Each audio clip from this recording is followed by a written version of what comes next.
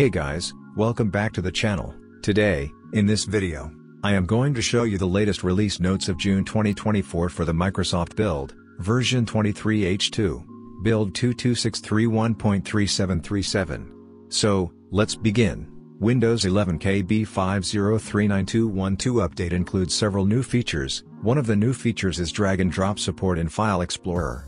You can now drag files between breadcrumbs in the File Explorer address bar. For those unaware, breadcrumbs show the path to your current file location. This feature was removed with the Windows 11 Moment 4 update, but Microsoft previously informed the users that it will be added back to the OS, starting with today's update.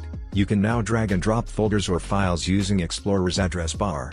However, remember that the feature is being rolled out, and it may not appear for everyone. This build also adds a new feature that prevents you from accidentally closing the Windows Share window by clicking outside of it. You must select the Close button at the upper right corner to close the window. Another new feature lets you create QR codes for web page URLs and cloud files from the Windows Share window. To use the feature, you need to click the Share button in the Microsoft Edge toolbar and choose the Windows Share option to share URLs and files across devices.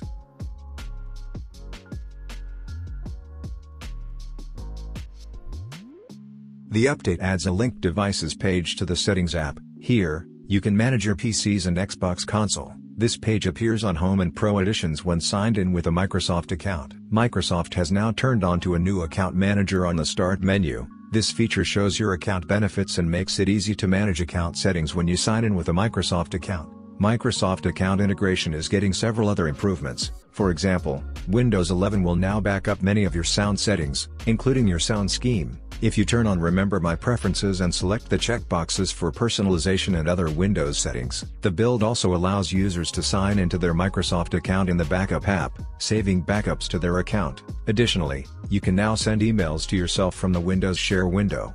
So, that was it, hope it was useful, consider like for the video, subscribe to the channel and if you have any question, just comment down below, thanks for watching and have a great day ahead.